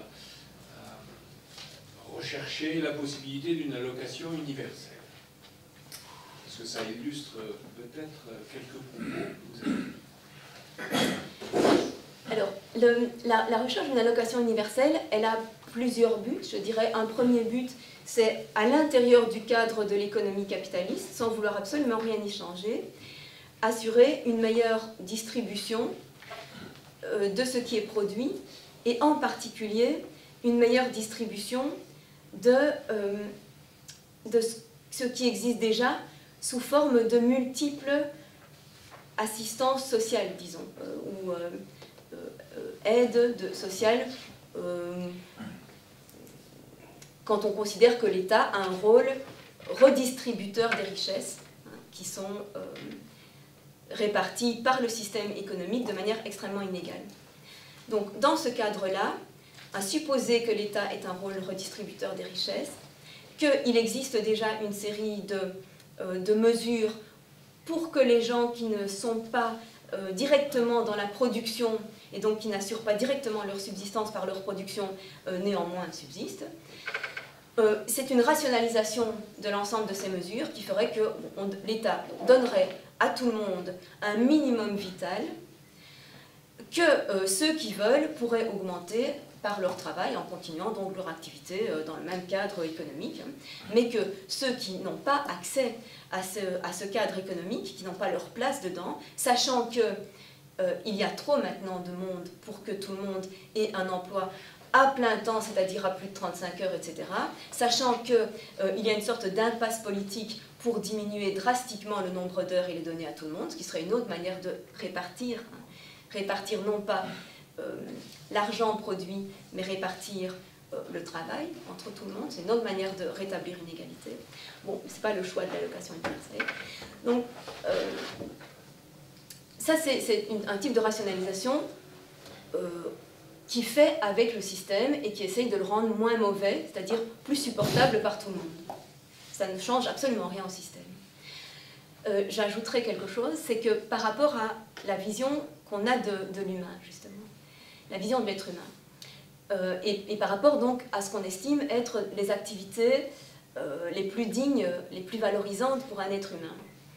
Si on, pense que c'est pas l'activité de subsistance qui est la plus importante, que ça c'est simplement au contraire la, toute première condition, mais qu'il faut terminer le plus vite possible pour pouvoir faire autre chose, hein, pour pouvoir s'épanouir dans toutes sortes d'activités plus intéressantes. Alors en partie, cette allocation universelle est une réponse à ça, et en partie non. En partie c'est une réponse parce qu'on dira, ceux qui veulent bien se, contenter de ce minimum qui ne sera vraiment pas grand-chose, pourront développer toutes les activités qu'ils veulent tranquillement. Ils ne seront pas inquiets, ils ne seront pas constamment, euh, disons, obligés de, de, galérer pour se sortir du pétrin. Euh, en revanche, il y a quelque chose qui,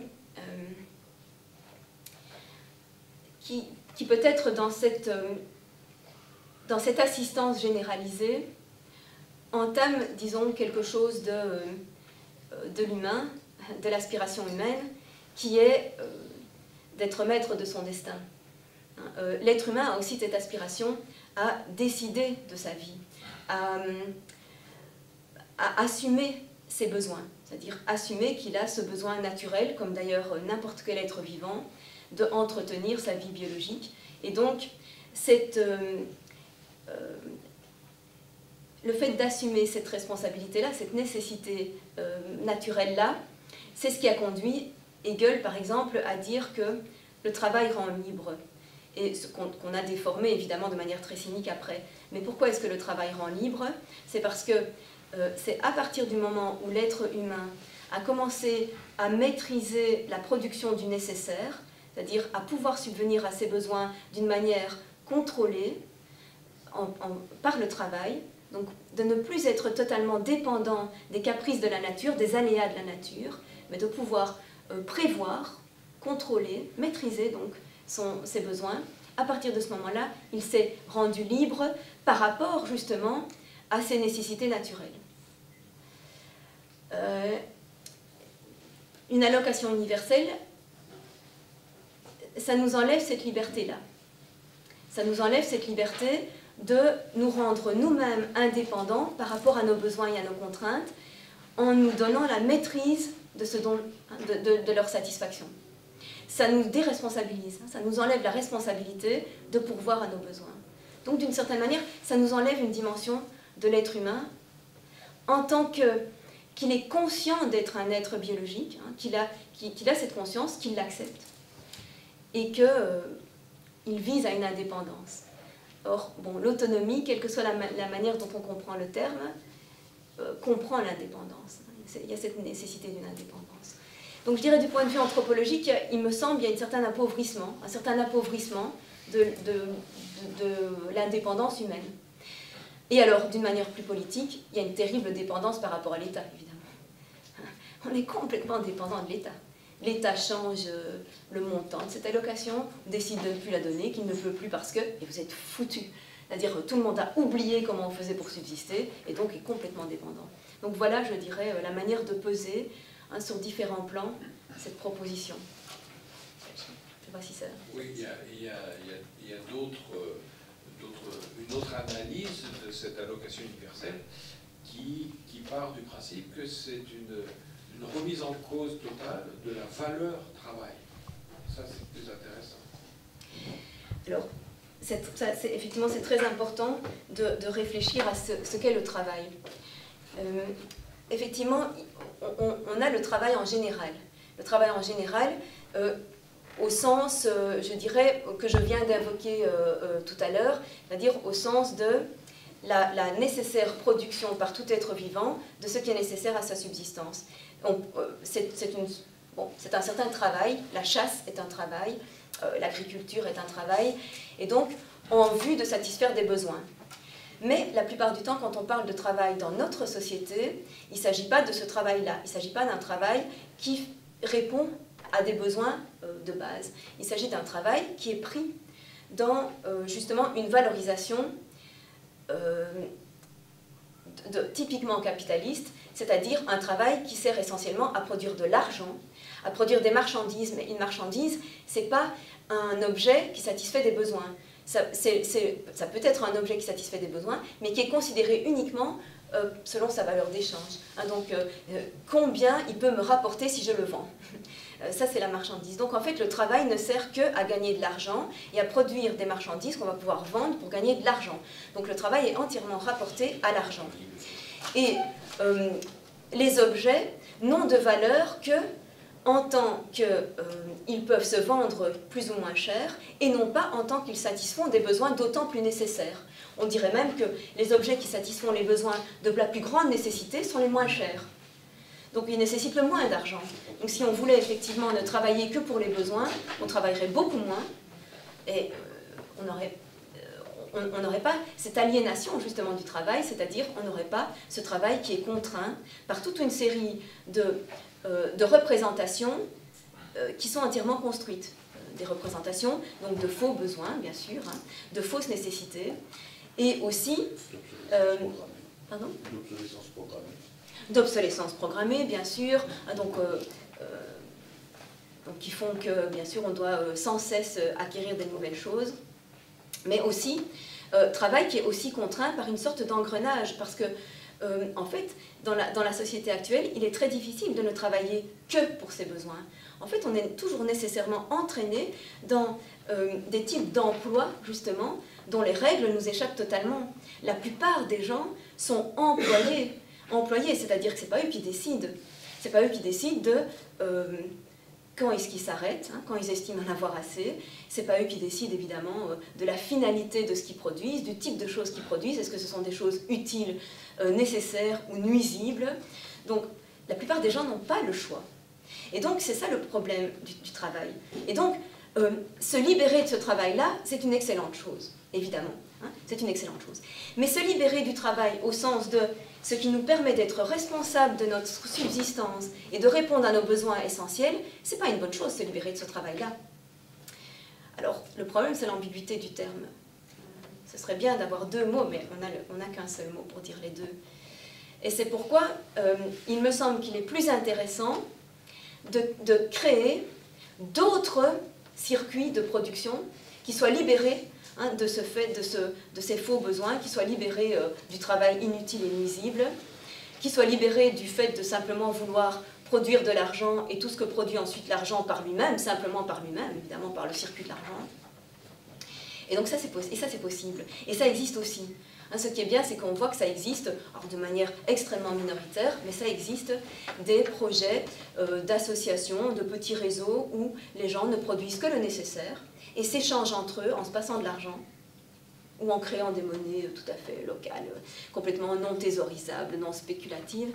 Donc euh, se passer complètement de tout ce qui justement dans le travail est, euh, est complètement aliénant, est, complètement inféodé à ce système absurde. Donc euh, c'est tout à fait vrai qu'il faut se libérer de ce travail-là, mais pas d'assumer cette production nécessaire de, des besoins fondamentaux. Sur la répartition inégale du travail, euh, le débat me fait penser à deux imaginaires. Le premier, c'est le, film L'an 01, euh, dans lequel, euh, à un moment, tout le monde dit on s'arrête et on réfléchit. Et à ce moment-là, les gens ne, travaillent plus que quand il faut produire, et puis dès qu'ils ont produit assez, ils s'arrêtent. Donc ça, c'est un, un, modèle différent, mais eux ne délèguent pas à une autre partie de la société le soin de faire le travail qui est strictement nécessaire à la production de leurs besoins. C'est chacun qui devient au même titre que tous les autres responsable de faire les choses qu'il sait faire pour que on rencontre les, réels besoins. Mais l'argent n'existe plus en fait, on les jette par la fenêtre, euh, les valeurs, les bijoux n'ont plus aucune autre valeur qu'esthétique, etc. Donc euh, à partir du jour, d'un jour à l'autre, tout s'arrête. Et l'autre modèle, euh, qui est un livre de Ursula Le Guin qui s'appelle Les Dépossédés, c'est une société anarchiste, en fait, c'est des gens qui vivent sur une planète euh, satellites de la planète principale. Et on les a mis là pour, en gros, c'est un contrat avec eux, c'est-à-dire qu'ils foutent la paix au reste de la planète qui continue à fonctionner dans un mode de production euh, productiviste, euh, avec croissance, etc. Et eux, ils sont à part sur leur petite planète et ils doivent seulement contribuer à extraire des minerais qu'ils envoient sur la planète principale. Il y, a, quelques échanges, mais sinon, ils produisent eux-mêmes tout ce dont ils ont besoin. Et là, la répartition du travail est faite de telle façon que tout le monde se tape les boulots euh, vraiment difficiles parce qu'il faut vraiment trimer pour extraire le nécessaire pour survivre. Et les gens font en plus euh, les choses qui les intéressent. Donc le personnage principal de ce livre-là, c'est un physicien qui fait de la recherche en physique. il le fait parce que ça lui plaît, il n'a aucune autre motivation que le fait de se grandir euh, intellectuellement. mais donc c'est aussi une société où il y a une autonomie, dans ce cas-là d'un groupe complet, quoi. il y a une, société qui s'autonomise par rapport à la valeur de l'argent et, qui choisit ses propres valeurs, donc qui choisit sa propre loi, euh, mais qui veille justement à ce qu'il y ait une répartition égale du travail et pas euh, justement de cet argent qui est la symbolisation de toute la perversion d'un système. Oui, juste pour euh, ajouter, ça ce sont des fictions évidemment. Et le problème de la, du, du, fait que ce sont des fictions, c'est qu'alors d'une part le, la fiction libère l'imaginaire, c'est-à-dire euh, indique d'autres possibles, mais en même temps, elles, elles n'ont pas, ces fictions n'ont pas d'ancrage dans le, dans le moment présent. C'est-à-dire on, on, ne voit pas ce qui, dans euh, l'état présent des choses, permettrait un passage, une transition vers ça.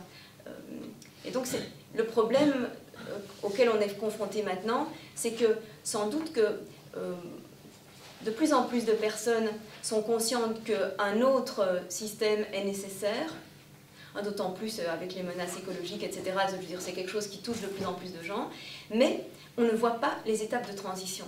Et c'est ça un peu la difficulté de la fiction. Évidemment, elle permet de, dire, bon voilà, on est passé à autre chose. Ce qui est difficile, ça sera de l'ancrer dans le maintenant. Euh, pardon, il y avait peut-être ici. Je voudrais vous, avez évoqué que le capitalisme, qui est né depuis longtemps apparemment, euh, et je voulais vous poser comme question, euh, le, le, vous connaissez l'école de Chicago? Euh, L'école du C'est au milieu, néolibéral. au milieu du XXe siècle, il y a les théoriciens de la- du libéralisme Oui, oui. qui ont Friedman et tout ça, qui ont inspiré Thatcher et Reagan, etc. Donc, quand vous dites que le, cap- le capitalisme, c'est pas des gens qui l'ont, ça s'est fait petit à petit, c'est vrai, hein, je crois. Mais est-ce que la- ma question, alors, c'est quelle est le- la contribution personnelle de, de ces individus hein, euh, L'école de Chicago, euh, comment il s'appelle Friedman et puis je sais Friedman, pas qui, là, euh, dans, dans, le, dans la transformation de la société qui la rend encore plus libérale. Euh, bien sûr, hein, on ne peut absolument pas nier que des- les individus donc, qui ont intérêt à ce système Parce vont le renforcer. Est-ce que c'est un intérêt pur, vous croyez, ou, ou c'est purement euh, une, une- Ah oui, une, conviction. Vous pensez Alors oui, ça c'est très, oui, ça c'est, ça c'est vraiment très intéressant. C'est-à-dire, est-ce que, euh, dans quelle mesure, est-ce que donc ces individus qui, euh, qui appuient au maximum ce système, donc ou bien en le justifiant théoriquement, ou bien euh, en, voilà, justification théorique dans, dans ce la cas-là, hein, mais aussi euh, ceux qui, euh, ceux qui l'aident à se développer en étant justement ces tout gros investisseurs, en étant ces tout gros industriels, ou même en étant des législateurs, des législateurs qui favorisent ce type d'économie par rapport à toute autre possibilité. Hein, parce que le législateur, il a beaucoup aussi de responsabilités dans le fait qu'il favorise au maximum cette, euh, ce type de finance, ce type d'investissement. Bon. Donc tous ces individus-là qui confortent le système, quelle est au fond euh, leur pensée? Pourquoi ils le font? Quelle est leur motivation? Alors là, on peut évidemment euh, penser à deux possibilités, et je, je pense qu'elles doivent être répandues, les deux possibilités doivent- exister, et peut-être même parfois coexister dans le même individu. Il y a une manière qui est strictement, euh, complètement cynique, c'est-à-dire il doit y avoir des individus là-dedans qui se disent, je le fais pour mon plaisir, pour mon plaisir, parce que moi, je, jouis d'accumuler, et je m'en fous complètement des conséquences pour les autres. Je pense qu'il y en a qui doivent réagir comme ça, parce qu'ils voient bien hein, ce que ça entraîne. Je veux dire, un individu, bah, c'est quand même des gens qui ont un- une intelligence, hein, euh, euh, ne fût-ce qu'une intelligence, comment dire, euh, de la compréhension des mécanismes des choses, et donc ils, voient bien que leur enrichissement entraîne l'appauvrissement de, de populations entières. Euh, que leurs manœuvres entraînent euh, des guerres, hein, que ce soit pour des, re- des guerres pour des ressources ou simplement parce qu'il faut écouler les armements hein, qui sont euh, vendus très cher aux États, etc., etc. Donc tout ça, ils le savent.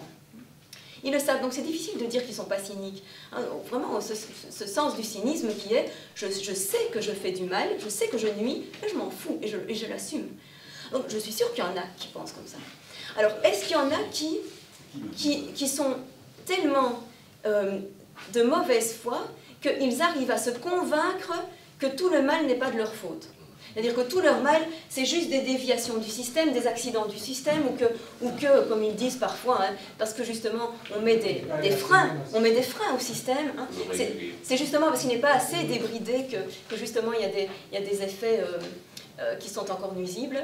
Euh, Est-ce qu'ils est qu'ils arrivent à se convaincre de ça alors que tout de même, il y a assez d'analyses qui ont été montrées euh, sur, sur les causes et les conséquences. Enfin, Sauf que Donc- dans les- années d'après-guerre, il y a eu une telle croissance que ça pouvait peut-être donner l'illusion. une illusion. Et il y a eu beaucoup d'étudiants qui ont été formés comme ça par la suite. Je veux dire, est-ce En même temps, c'était une vue à très très court terme et qui venait après ce qui avait déjà été un effondrement du système par euh, une crise qu'on avait déjà analysée et dont on savait qu'elle pouvait se reproduire. Hein. Donc, c'est pas parce qu'on trouvait des nouveaux marchés, euh, etc., qu'on n'allait pas retomber sur euh, le même type de crise. Donc, je pense que dans tous ces cas, euh, quand on n'est pas dans le pur cynisme, l'explication c'est vraiment la mauvaise foi au sens sartrien, hein, au sens de Sartre. C'est quoi la mauvaise foi au sens de Sartre? C'est ne pas vouloir savoir. C'est en fait, on sait, mais on ne veut pas savoir, et donc on nie, on est dans la négation totale, y compris pour soi-même. Et on se convainc soi-même qu'on est quelqu'un de bien et que euh, on n'est pas responsable de ce qui arrive de mauvais. Donc cette mauvaise foi, hein, c'est une foi, euh, c'est une foi qui nie l'évidence qui nie quelque chose qu'on sait par ailleurs. Et donc, peut-être bien que euh, l'individu a tellement besoin de cette auto-justification pour ne pas se sentir coupable qu'il finit par s'en convaincre. Allez savoir. Mais bon, une bonne psychanalyse serait bien utile de ces gens-là. Je voudrais compléter ma question euh, euh, avec euh, Castoriadis et le marxisme. Oui. Il, a, colla- enfin, il a totalement adhéré au départ, il me semble, au communisme, et après il l'a beaucoup critiqué. hein. Et à ce moment-là, euh, après l'effondrement du, du communisme, si vous voulez, euh, les gens ont pensé qu'il n'y avait pas d'autre alternative que le capitalisme. Est-ce que vous ne pensez pas que ça peut, euh, il peut y avoir aussi cette raison?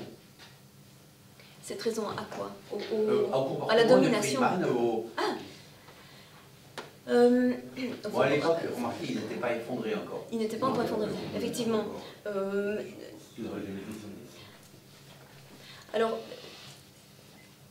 Castoriadis, par rapport au marxisme, il, est très tôt euh, dans une critique de l'intérieur, hein, dans une critique à partir de l'intérieur, et, et notamment sur, euh, toutes ces idées de nécessitarisme, de, euh, choses qui se passent simplement par des conditions matérielles. Donc, ça, il a très très tôt, euh, cette distance par rapport à ça. Et il ne pense pas du tout, enfin, euh, il écrit bien avant l'effondrement, enfin, il commence à écrire bien avant l'effondrement euh, des, pays soviétiques, il a une critique de ce qu'il appelle les sociétés bureaucratiques. Dès le départ, dès le début de Socialisme ou, Barbarie, qui commence en 49, il a cette critique des sociétés dites bureaucratiques. Alors, pourquoi il les appelle bureaucratiques? Ça m'a toujours paru vraiment bizarre. C'est une espèce d'euphémisme, alors que la bureaucratie, elle est partout. Ici aussi, c'est une société bureaucratique. Mais euh, la différence, c'est que là-bas, euh, elle, était complètement totalitaire, privative de liberté. Donc, euh, ça c'est une, digression, mais euh, il est parfaitement conscient que c'est pas du tout ce modèle-là qu'il veut, hein, évidemment, de- dès le départ. Et toujours, il, a, toujours euh, proposé une voie qui ne soit ni le capitalisme, ni la société, disons, fermée d'une- dictature du parti, en fait, hein, qui n'est bien sûr pas le communisme. Mais est-ce que, est que les, défenseurs, euh, les, héros du, ca- du capitalisme, ont besoin du fait qu'il y a un affaiblissement en face? Je ne pense pas. Je ne pense pas qu'ils ont besoin d'un affaiblissement en face pour, pour, pour être aussi euh, affirmatifs, euh, aussi sûrs d'eux, pour, pour arriver au- autant à justifier. Non. Je dirais même ça peut être un stimulant hein, pour en rajouter. quoi. Le fait qu'il y ait un autre modèle concurrent, ça peut être stimulant pour en rajouter. Donc, euh, c'est pas maintenant qu'il est unique. C'est pas ce qui s'est passé dans l'histoire. Tant qu'il y avait le modèle communiste, ça a quand même bien jugulé les, appétits capitalistes. Ne serait-ce que là, en Europe occidentale, beaucoup de choses s'expliquent par le fait que les Occidentaux avaient peur du capitalisme. Donc, forcément, étaient se modérer et, et, euh, et, euh, adapter vers leur politique pour éviter justement qu'il y ait une contagion du communisme. C'est ça.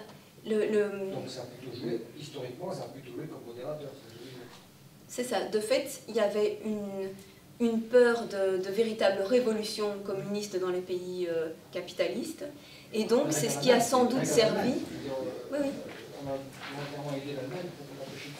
Oui, oui. Et c'est c'est évidemment ce qui a servi à beaucoup euh, euh, concéder aussi aux syndicats, euh, aux organisations euh, de travailleurs, de leur concéder énormément de choses, en tout cas sur le plan économique. on leur a concédé beaucoup. On ne leur a pas concédé sur le plan de la maîtrise et de la décision. Et, ça a été sans doute une erreur justement des syndicats, et ça depuis le 19e siècle, hein, depuis la fin du 19e siècle, euh, surtout en Allemagne avec la social-démocratie, ça a été une grande erreur de se focaliser sur les avantages économiques, donc de demander aux capitalistes des, concessions économiques, au lieu de demander aussi euh, des, euh, des participations à la décision. S'il y avait eu plus de participation à la décision, on aurait évité beaucoup de choses, y compris des guerres. Il y, a, il y a eu un tournant dans les années 70 où on a oublié complètement la question de l'autogestion.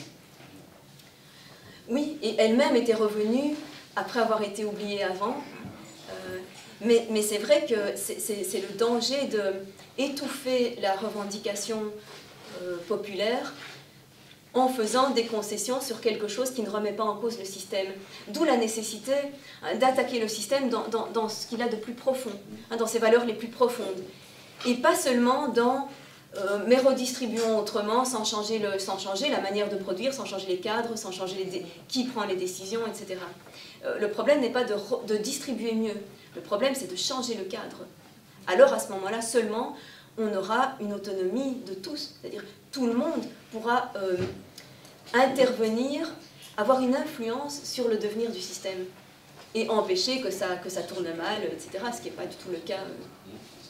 Et c'est ce cas qui a été changé dans pour Alain, pour Alain Badiou, la, la, seule euh, valeur qu'il faut euh, attaquer, c'est le, le, le droit à la propriété des biens de production.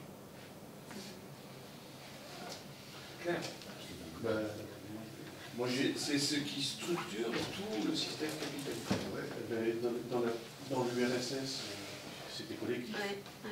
On, a, on a changé les rapports de nomination. On a remplacé une classe par une caste. Et Castoriadis, je crois qu'il dit que le socialisme, c'est rendre aux hommes euh, la, domination de, de l'homme sur l'homme effectivement, si on veut supprimer euh, les, rapports d'exploitation et de domination, il faut plus que ça. Et ça, ne suffira pas de collectiviser la propriété, euh, encore moins de la nationaliser. Parce que la nationaliser, c'est la mettre entre les mains d'un gouvernement, et on sait comment se forment les gouvernements, donc il n'y a pas de garantie là. Euh, il faut faire beaucoup plus. Et je dirais même, là, quand on fait ça, on ne s'attaque pas au, fait de mettre la valeur économique au centre de toutes les préoccupations. C'est-à-dire on pense toujours que euh, les aspirations humaines tournent autour de, euh, des choses matérielles. Euh, si on ne se libère pas de cette obsession du besoin matériel, obsession de, de la rareté, hein, qui, est réelle dans certains cas. Hein. Je veux dire, il y a des choses qui sont des choses vitales qui deviennent rares euh, pour certaines populations. Donc c'est quelque chose à prendre très en considération. Mais euh, ce n'est pas, la, seule valeur. Hein. Donc déplacer la valeur, ça veut dire aussi la déplacer de l'obsession de la production matérielle vers aussi euh, d'autres types de, d'épanouissement de l'humain. Donc il ne suffira pas, il faut le faire, mais il ne suffira pas de mettre en question le type de production. Les meilleures choses doivent s'arrêter. En tout cas pour ce soir, merci Annie. Je, je, vous promets d'essayer d'inviter Alain Badiou. Je ne suis pas sûr de gagner. En tout cas, nous retrouvons euh, Annick la semaine prochaine. Merci d'avoir rempli ce, questionnaire qui va nous aider à, préparer la programmation pour l'an prochain. Et puis à la semaine prochaine.